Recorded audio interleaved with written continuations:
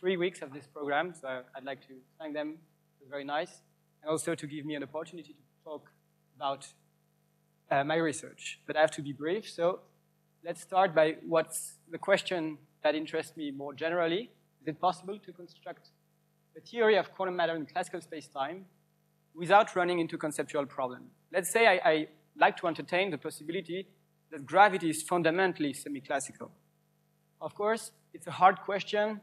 I mean, an easier but doable is, is it possible in the non-relativistic limit at least, okay? Let's say I, I go to the Newtonian realm, and then I try to see if it's possible. I think Lajos has already advocated for that, and probably also André Grossardt. So I hope at, the, at that point you are convinced that this is also interesting, although maybe it's less, less than the previous talk.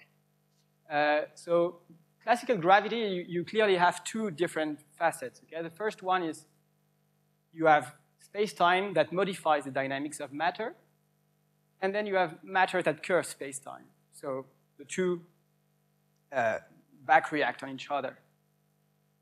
When you want to make uh, semi-classical gravity, you have a curved space-time that modifies the dynamics of quantum matter. Okay? I'm being extremely sketchy here.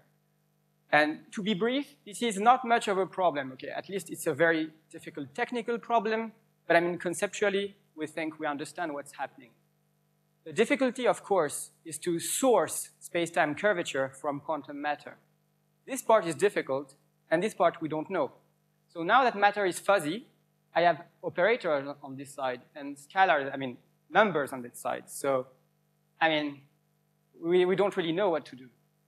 Okay, um, so the, the old choice, the old answer to this problem uh, was done by uh, Christian Moller and Leon Rosenfeld, and you just take the expectation value, okay? That's a cheap way to do it. I'd, I'd like to insist that it's really a choice, okay? You have no natural prescription for doing that. And, I mean, it's also quite weird because uh, Leon Rosenfeld was himself, like, really um, uh, a strong, uh, fervent Copenhagen Orthodox, and it's not so natural to do that if you don't think there is some reality in the state. So, I mean, this is something Andre has been explaining in detail uh, the previous week, but this in the non-relativistic limit for one, for say a one particle wave function essentially means that you, you source the gravitational field with psi square. And as we, as he also showed, this gives the Schrodinger-Newton equation, which is a nonlinear extension of the Schrodinger-Newton equation, of the Schrodinger equation, sorry. Yeah.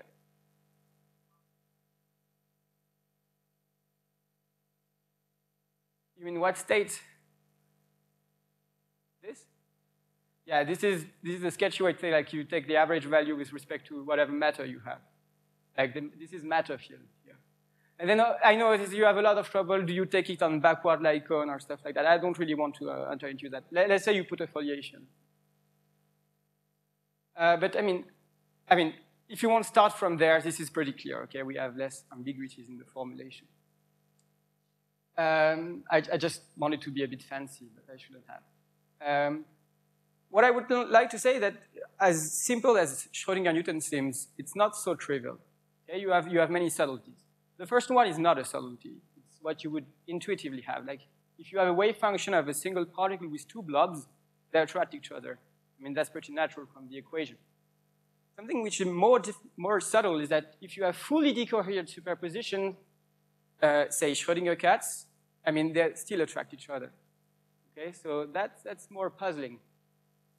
An important fact is also that because of nonlinearity, the Born rule breaks down. So if you want to interpret the state the wave function as giving you, uh, as psi square as giving you probabilities, you get, you run into inconsistencies. Of course, you can still save the day by prescribing a primitive ontology from which you derive your prescription, but it's more difficult.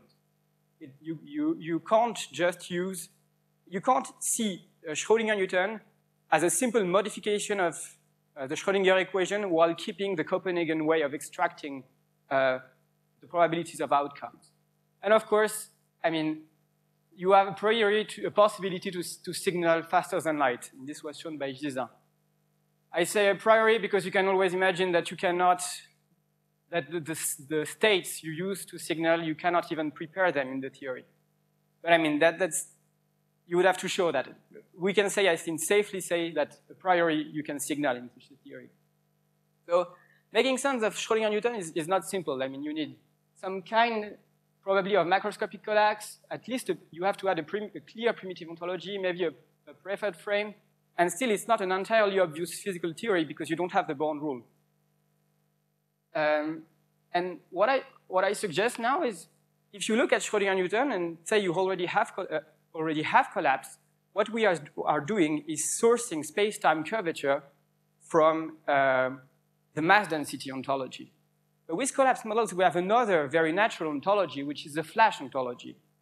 People usually don't like the flash ontology because it looks like discrete points, but if you take the CSL model, the flash ontology is actually continuous. It becomes a field of outcomes.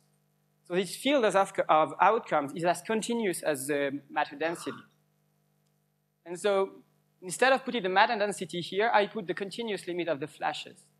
So sometimes also called the signal. It's, it's really a, an ontology that's, that's not much used in, in collapse models.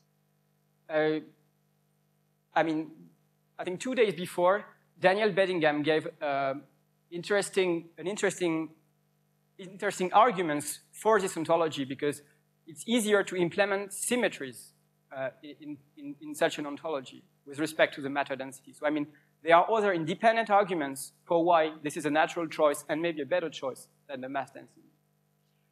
Okay, if you do that, and then, I mean, of course, you, you crank up the theory, you do your computations, and fortunately, you can write exact equation for matter. So you get an explicit stochastic master equation for matter.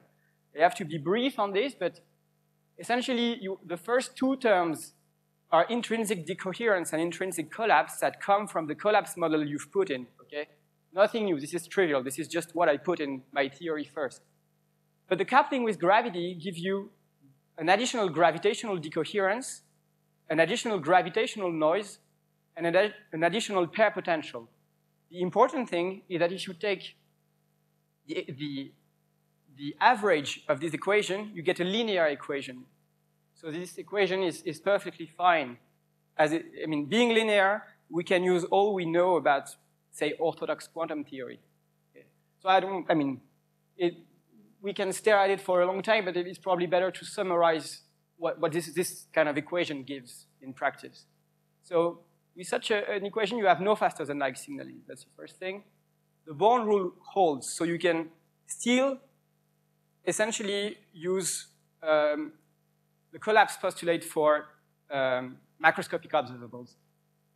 You have no one-particle self-interaction, and something which is I find very interesting is that gr the gravitational decoherence is inversely proportional to intrinsic decoherence, which means that it makes the lambda parameter of CSL falsifiable from below.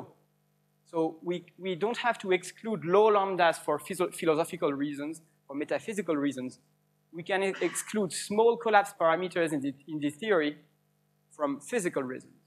Essentially because if the collapse is too weak, that puts a lot of fluctuation in the space, in the space-time, which then back reacts and creates tons of fluctuation on matter. So basically, you have a minimum. You can't that that you can't have arbitrarily low uh, effect of the collapse. Of course, I mean I don't want to. I, I think it's important to mention the difficulties you have. Uh, Lajos already mentioned that the regularization scale is still very important and really changes the physics. And of course, the relativistic extension is really non-trivial. So you have many, many issues. I won't, I mean, I, I don't have time to talk about them, and, and it's clearly not resolved, and it's probably not just a technical issue. I mean, there are probably deeper, deeper issues. So this is, essentially, this, program has very nice results in the Newtonian case, and in, in the relativistic case so far, I mean, we don't have much. Uh, but, but if you don't want to look at the equations, why does it work so well? I mean, why are all the, in a sense, with this prescription, just going from matter density to flashes, or the continuous equivalent, why do you solve all the paradox? because formally, at the equations level, this is strictly equivalent, like mathematically equivalent to having a detector weakly measuring matter, okay, like, like a, a orthodox detector. And then doing feedback on the space-time based on these results. So this is purely at the equations level, we are doing something that can be embedded in purely orthodox theory. And then actually, to do the computation, you just do standard stuff that it's actually even textbook stuff now. So you, you take this book, Quantum Measurement and, Con on Control by Milburn and Wiseman, and, and you have something that at the equation level is, is the same as our model. So formally, and I, I insist this is just a mathematical picture, how this model is equivalent to having detectors everywhere that measure matter and that, that based on this signal, curve space-time appropriately. Of course, I insist this is just a mathematical picture. This is not, I don't believe there are hidden detectors in the world, okay? I want also to solve the measurement problem. So the reality picture you have to imagine is something like that. Like you have quantum matter that, that essentially gives the probability distribution of this stochastic field. This is the continuous version of the flash. This flash is curved space-time. So you see that my, now my space-time is noisy. And this space-time modifies the dynamic of quantum matter.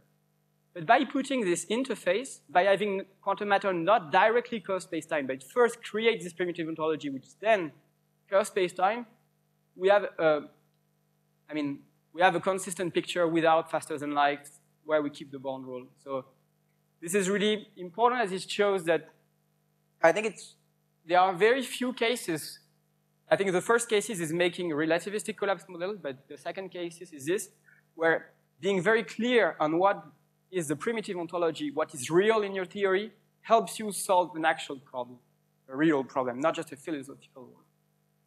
So to summary, if you source the gravitational field from the mass density signal instead of the mass density average uh, of a dynamical model, you have a paradox-free theory of Newtonian quantum gravity.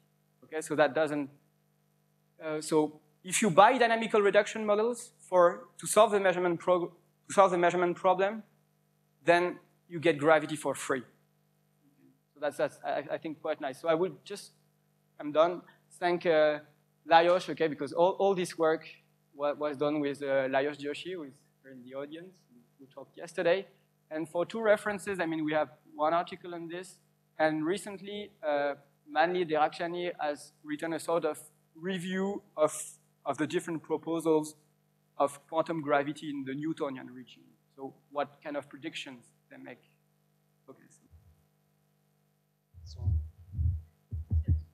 This master equation was written from a modified Schrodinger equation? I, I start, so this is not a what I wrote was not a master equation, it's really a stochastic master equation. It, it preserves pure states, okay? I could have really written a stochastic Schrodinger.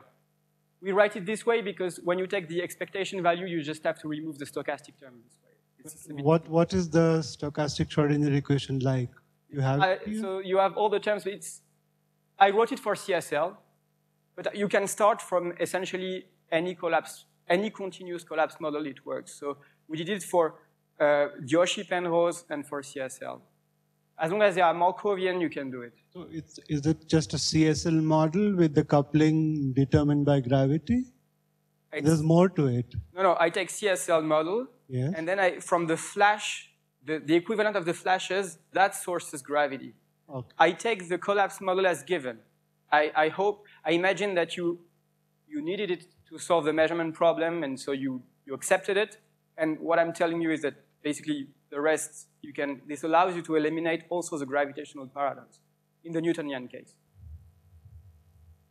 So, so uh, the guy you mentioned in the last reference, Derakhshani, so he also was trying to combine collapse and yeah, yeah, and Newton Schrodinger, right? So, yeah, yeah, yeah. but that was something else, or yeah, he's coupling, he's coupling with the the matter density. So it solves the, the macroscopic Schrodinger cat problem but you still have the issue of the Born rule and of faster than light signaling. So it's, it's a first step in this direction, but it doesn't solve all the paradoxes.